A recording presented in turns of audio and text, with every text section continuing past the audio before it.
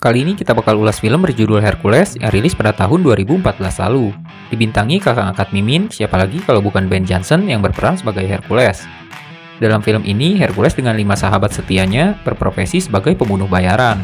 Biasa bekerja untuk para raja demi mendapatkan sebuah imbalan berupa emas. Tak jarang mereka juga menggunakan legenda yang melekat pada nama besar Hercules untuk mempermudah berbagai urusan, atau sekedar menakut-nakuti orang. Oke, tanpa panjang lebar lagi, kita langsung masuk intro.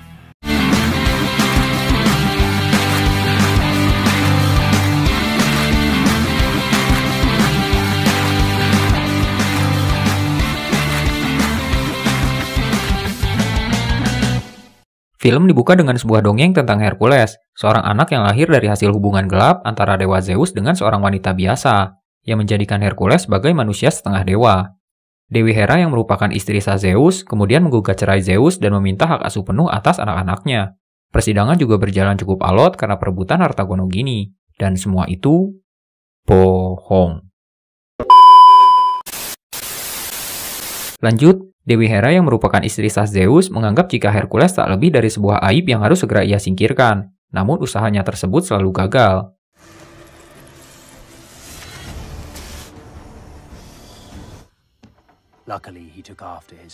Saat Hercules tumbuh dewasa, Hera berjanji akan membiarkannya hidup tenang jika Hercules mampu menyelesaikan 12 tugas berbahaya. Dan di antara 12 tugas tersebut ialah mengalahkan Hydra,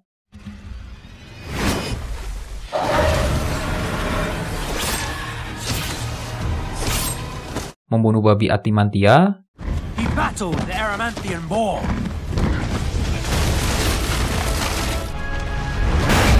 dan mengalahkan singa Nimea.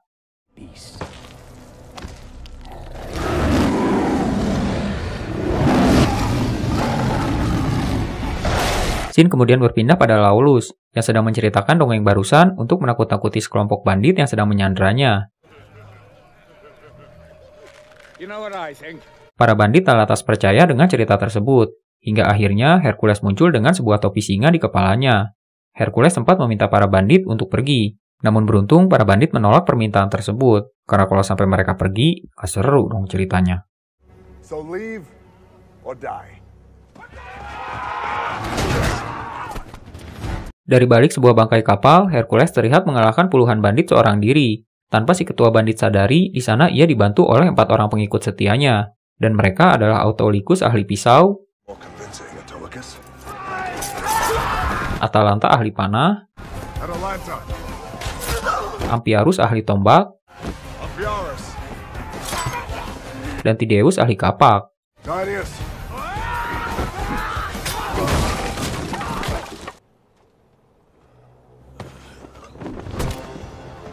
Usai mengalahkan para bandit, mereka berhak atas sebuah imbalan, dan untuk merayakannya, mereka berenam berpesta di dalam sebuah bar.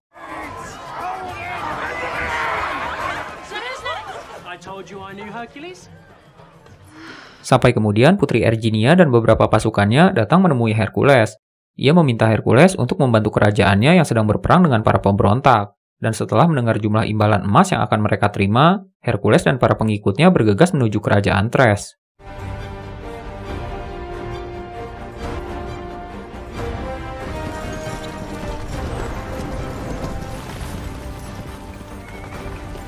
Setibanya di sana, Hercules disambut oleh Jenderal Sitaklis, yang merupakan jenderal utama dari pasukan Tres.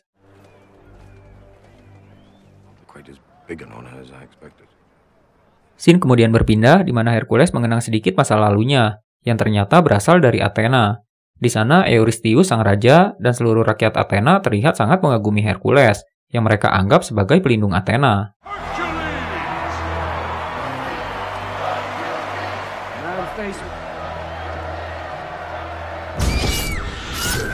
Kembali ke masa kini, ia dan teman-temannya kemudian dipertemukan dengan Raja Kotis, yang rupanya mengenali Ampiarus sebagai peramal hebat, yang bahkan mampu meramalkan kematiannya sendiri.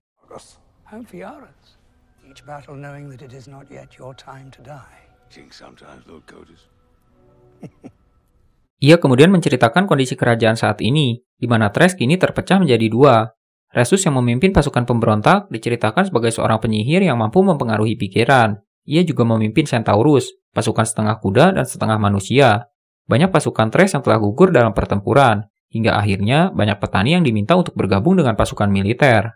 Setelah Kotis memperlihatkan kondisi para pengungsi, Hercules dan teman-temannya yakin jika yang mereka bantu adalah pihak yang baik. Jadi, walaupun mereka ini tentara bayaran, mereka hanya mau bekerja untuk pihak-pihak yang mereka anggap benar.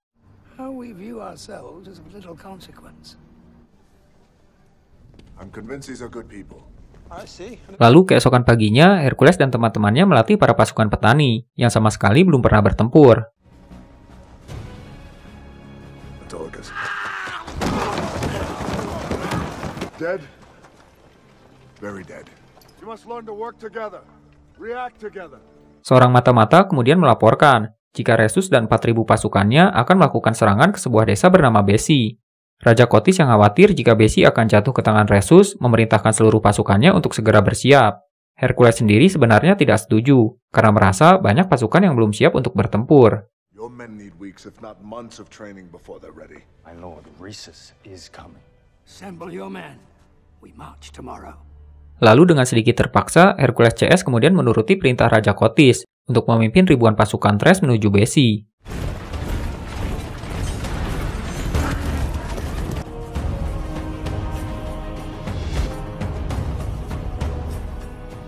Setibanya di sana, desa telah terlihat hancur lebur, dengan banyak mayat yang dibiarkan tergeletak.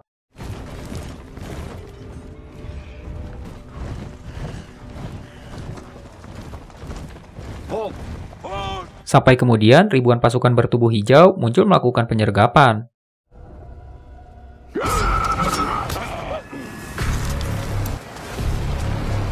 Hercules kemudian memerintahkan pasukan Tres untuk membentuk formasi bertahan, sementara Hercules dan teman-temannya berhadapan langsung dengan pasukan musuh.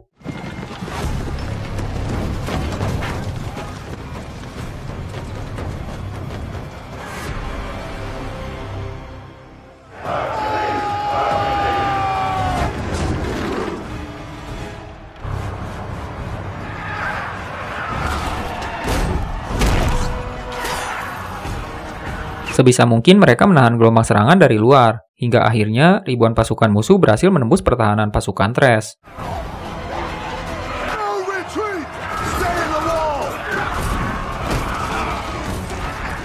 Melihat hal tersebut, Hercules dan Amphiarus kemudian menggunakan kereta berpedang untuk membantu pertahanan.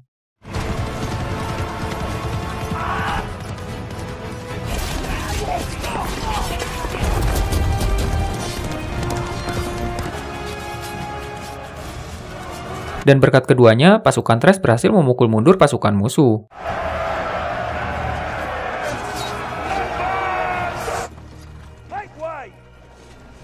Saat itu Raja Kotis terlihat menyesal karena keegoisannya banyak pasukan Tres yang harus tewas dalam pertempuran. Saat kembali, Putri Erginia berbaik hati mengobati luka-luka Hercules. Mereka juga saling bertukar cerita. Namun Hercules terlihat enggan menceritakan tentang keluarganya. Thank you for your care. Hercules ternyata diduga telah membunuh keluarganya sendiri saat mabuk dan membuatnya harus terusir dari Athena. How could you do such a... Get out, you monster. Usai kejadian tersebut, Hercules juga sering bermimpi dan berhalusinasi tentang seekor serigala berkepala tiga yang selalu datang di bawah bayang-bayang mendiang seluruh keluarganya.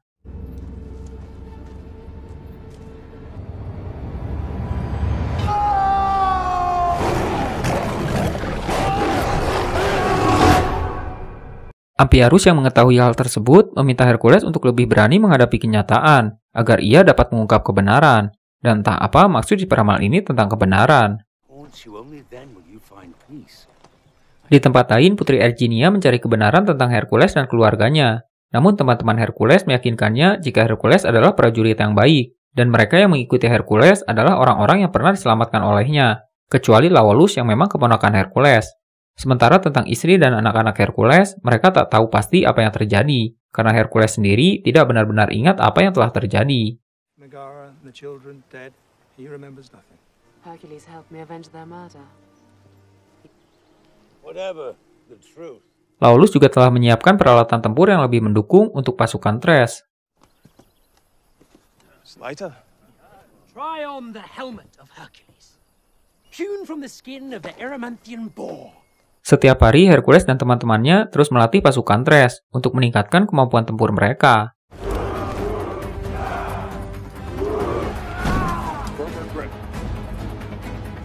Stand tall.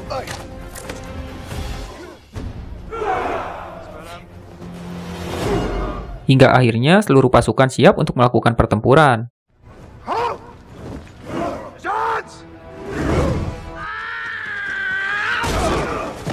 Hercules kembali memimpin ribuan pasukan Thrash untuk melakukan penyergapan terhadap Resus dan komplotan pemberontak.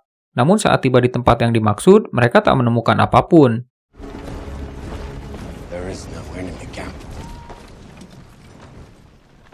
Hingga akhirnya beberapa Centaurus terlihat muncul di puncak bukit, dan disusul dengan ribuan pasukan pemberontak yang telah bersiap.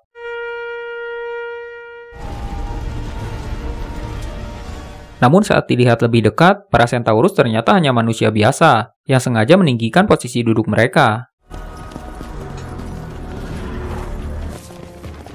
Centaurs? Hercules dan pasukannya benar-benar telah jatuh ke dalam perangkap. Resus yang memimpin pasukan dengan jumlah tiga kali lebih banyak meminta pasukan Thrash untuk menyerah. Namun lagi-lagi keberuntungan penonton terus berlanjut, di mana Hercules menolak permintaan tersebut. Karena kalau sampai nyerah, filmnya bakal udahan dong. Pertempuran pun dimulai. Pasukan Thrash kembali membentuk formasi bertahan. War!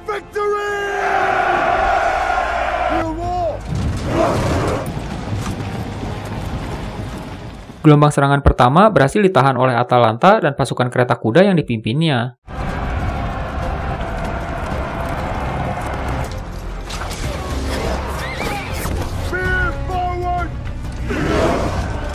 Lalu disusul dengan menghujani para pemberontak menggunakan anak panah.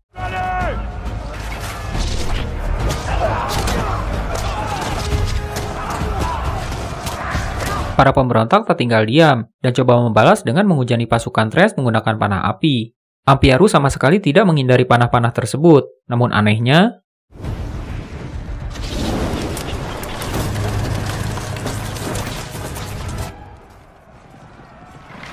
Maybe not. Perlahan tapi pasti pasukan Thrash mulai bergerak maju dan memukul mundur para pemberontak.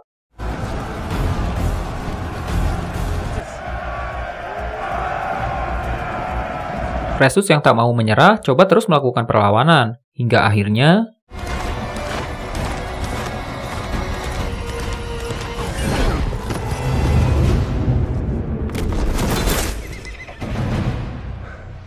Setibanya di Thrash, Hercules yang melihat Resus diperlakukan tidak baik datang menghampirinya. Dan saat itulah Resus mengungkapkan jika Hercules telah membantu pihak yang salah. Karena ternyata Kotis adalah raja yang buruk, yang telah memperbudak rakyatnya sendiri. Enough. You helped the tyrant enslave a nation. You've been fighting on the wrong side. Hercules kemudian pergi menghampiri Putri Erginia untuk mencari tahu apa alasan sang putri sampai-sampai membohongi Hercules dan teman-temannya.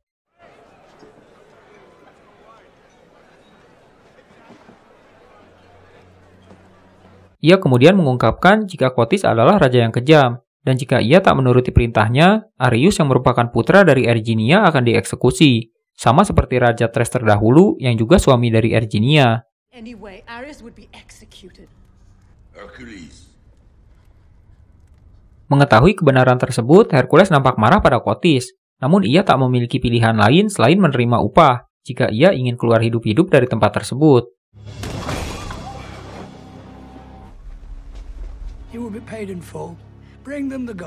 Masing-masing dari mereka menerima sekantung emas sebagai imbalan. Hercules kemudian meminta seluruh teman-temannya untuk pergi, karena ia berniat membunuh Raja Kotis untuk membantu rakyat Thrash. Namun mereka semua menolak, kecuali Autolycus yang enggan bertempur tanpa imbalan apa pun. Thrace needs our help. To hell with Thrace, we have gold. Now you can finally be free. Whatever debt you feel you owe me is paid. Take that too. I have no need of it. Crazy. A lot of you. Mereka semua kemudian diam-diam menyelinap, dan yang terjadi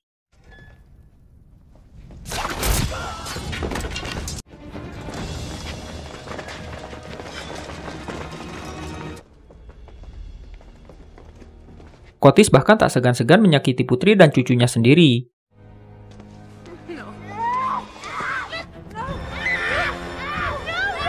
Sementara Hercules yang coba membantu,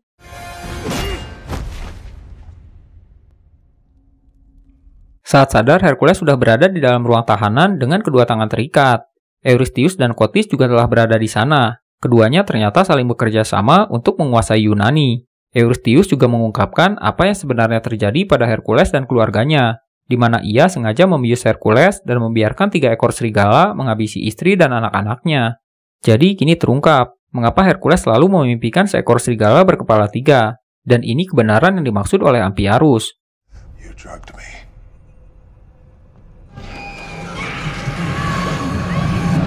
Semua itu ia lakukan hanya karena rasa cemburu, di mana rakyat Athena terlihat lebih menghormati Hercules ketimbang raja mereka sendiri. Yang tak kalah kejam, Kotis kini berniat membunuh putrinya sendiri.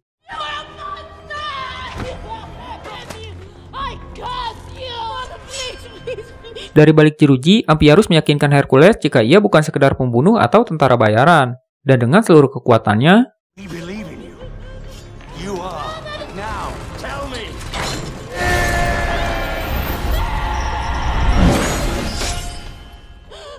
Hercules sempat dibuat kerepotan oleh tiga ekor serigala yang sebelumnya membunuh istri dan anak-anaknya.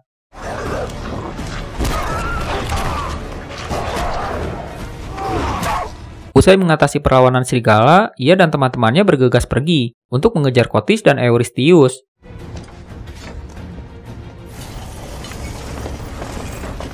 Pasukan Tres yang coba menghadang, mereka habisi satu persatu.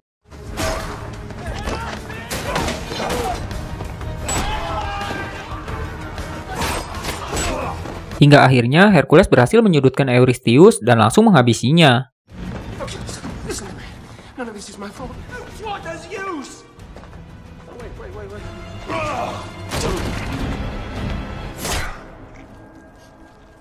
Hercules juga nyaris tewas di tangan Sitaklis. Beruntung Laulus bergegas datang memberikan bantuan.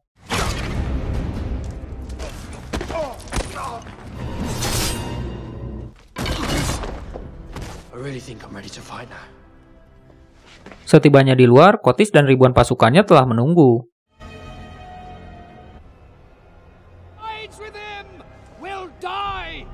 Ia juga menjadikan Arius sebagai sandra dan meminta Hercules untuk menyerah. Lalu saat Arius nyaris tewas, Autolycus muncul memberikan bantuan. Tideus yang coba melindungi Arius harus tewas karena banyaknya anak panah yang menancap pada tubuhnya.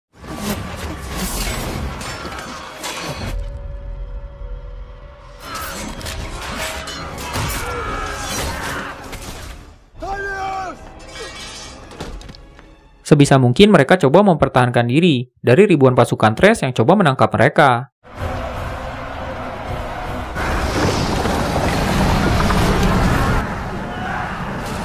Sekali lagi, Kotis meminta Hercules untuk menyerah. Namun lagi-lagi, Hercules mengabaikan perintah tersebut.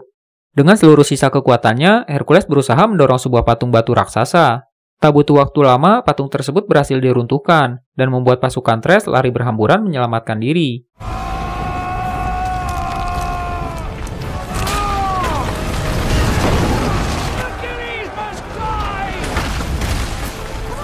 Beruntungnya lagi, potongan kepala dari patung tersebut berhasil menghantam Kotis, yang membuatnya terpental jatuh dari ketinggian.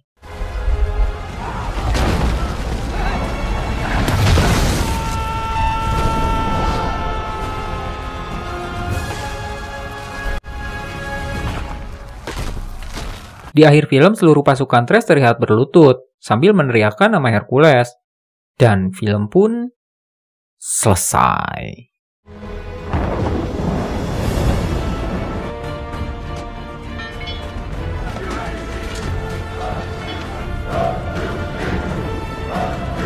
Oke, sekian dulu ulasan kita hari ini. Mudah-mudahan bisa menghibur bahan kalian. Kalau kalian punya saran atau film yang ingin kalian dengar ulasannya, bisa komen di bawah. Terima kasih.